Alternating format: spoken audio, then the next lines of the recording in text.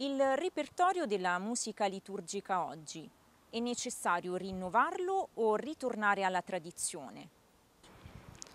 La musica liturgica, soprattutto quella italiana, ha un repertorio veramente molto ampio, vasto per tutti i gusti. La cosa importante è scegliere qualcosa che rimanga comunque fedele al canto liturgico, perché poi ci sono i canti sacri e i canti non sacri che vengono purtroppo introdotti durante le messe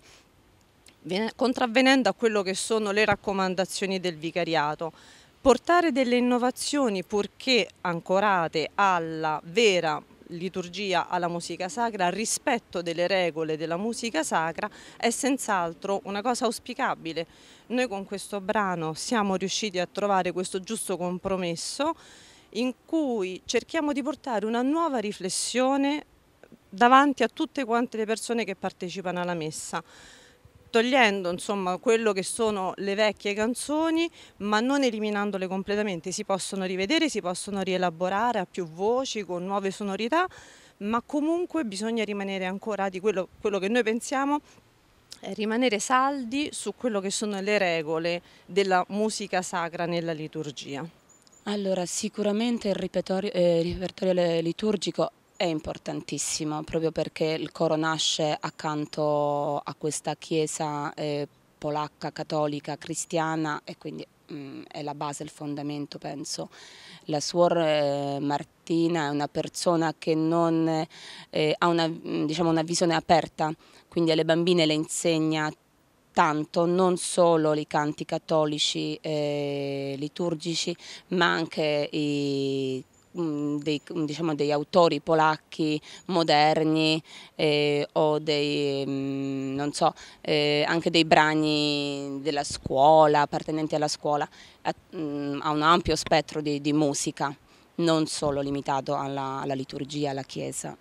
Allora, per, quant per, quanto mi riguarda io credo che il, ci, sia, ci, sia, bisogno del giusto equilibrio, nel senso che eh, è vero che eh, il i, i, brani moderni attraggono perché magari sono più appunto fruibili, però anche i brani tradizionali hanno il loro fascino e la loro storia. Quindi secondo me il connubio ideale è l'alternarsi fra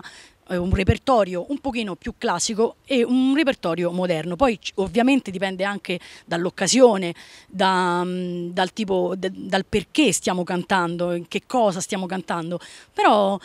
mm, non stravolgere totalmente i brani e dimenticarsi del passato, ma neanche riproporre sempre diciamo, un, un certo repertorio tradizionale. Secondo me eh, l'alternarsi è, è la via più giusta, è la via ideale. Il problema della, del repertorio liturgico di questi giorni è che è rimasto molto legato alla musica degli anni Ottanta, post Concilio Vaticano II, e questo ha comportato un progressivo distaccamento dalla sensibilità contemporanea ai brani che effettivamente si portano in chiesa. Accanto a questo eh, si è assistito a un proliferare di musica purtroppo spesso di bassa qualità, eh, che ha portato a uno scadere del, della, appunto, della, qualità del, della musica liturgica. Detto questo, non vuol dire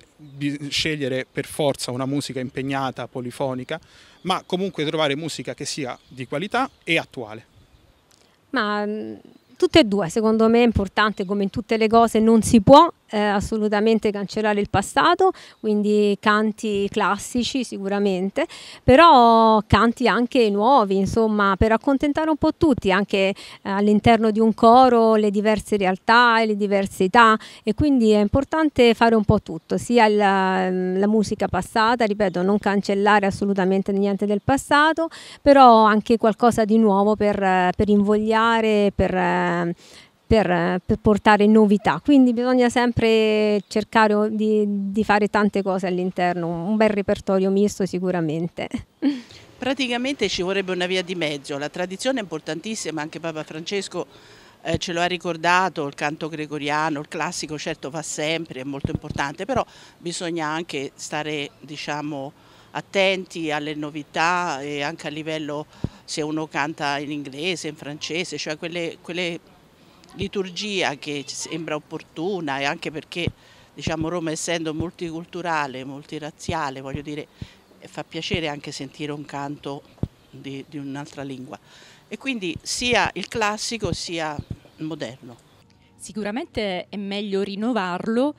eh, anche se la tradizione naturalmente è importante, sulla tradizione si basa naturalmente eh, la storia eh, di tutta insomma, eh, la musica, per cui comunque sì, va bene la tradizione, ma eh, sarebbe anche fondamentale un rinnovamento